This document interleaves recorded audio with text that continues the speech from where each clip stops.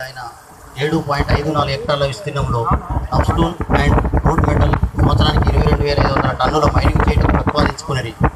ఈ ప్రతిపాదనపై జరుగు పర్యావరణ ప్రజాపాయ సేకరణకు ఇచ్చేసిన గౌరవ అదనపు జిల్లా కలెక్టర్ గారు ఆర్డీఓ చొట్టపల్లి గారు ఇతర అధికారులు ప్రజాప్రతినిధులు పత్రికా మిత్రులందరికీ ప్రజలందరికీ కూడా హృదయపూర్వక స్వాగతం.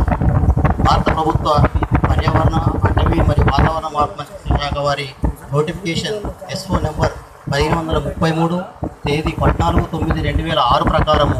Messrs Shri Sai metal industries వారు ప్రతిపాదిత ఏడు పాయింట్ ఐదు నాలుగు హెక్టార్ల విస్తీర్ణంలో రఫ్ స్టోన్ మరియు రోడ్ మెటల్ సంవత్సరానికి రెండు ఇరవై రెండు వేల ఐదు వందల టన్నులు మైనింగ్ చేయుటకు పర్యావరణ అనుమతిని పొందుటకు ఈ ప్రజాపాయ సేకరణ తప్పనిసరి. ఇందు మూలంగా నిర్ణయించిన ఈ ప్రజాపాయ సేకరణకు సంబంధించిన పత్రికా ప్రకటన పంతొమ్మిది జూన్ రెండు వేల ఇరవై రెండు రోజున ఈ పయనీర్ ఇంగ్లీషు మరియు వార్త తెలుగు దినపత్రికలను ప్రచురించడం జరిగింది.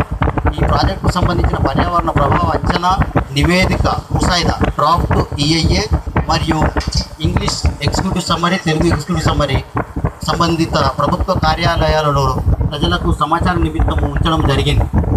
ఇందు నిమిత్తము సభాధ్యక్షులు సభను ఉద్దేశించి వివరిస్తారు. మరియు ఈ ప్రాజెక్టుకు సంబంధించిన వివరములు ప్రాజెక్టు ప్రతినిధి లేదా వారి కన్సల్టెంట్ వివరిస్తారు.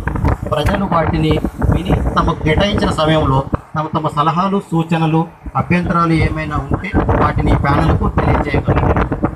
ఈ కార్యక్రమానికి విచ్చేసిన వారందరికీ ఈ ప్రాజెక్టు గురించి మాట్లాడడానికి సభాధ్యక్షుల వారు అవకాశం ఇవ్వడం జరుగుతుంది. చివరి వ్యక్తి మాట్లాడే వరకు కూడా సభను కొనసాగించడం జరుగుతుంది. ఒకవేళ ఎవరికైనా మాట్లాడే అవకాశం లభించని వారు వారు తమ అభిప్రాయాలను రాతపూర్వకంగా కూడా ఇవ్వగలరు. ప్రజలు వ్యక్తం చేసిన సందేహాలకు ప్రాజెక్టు ప్రతినిధి లేదా వారి కన్సల్టెంట్ సమాధానం ఇస్తారు.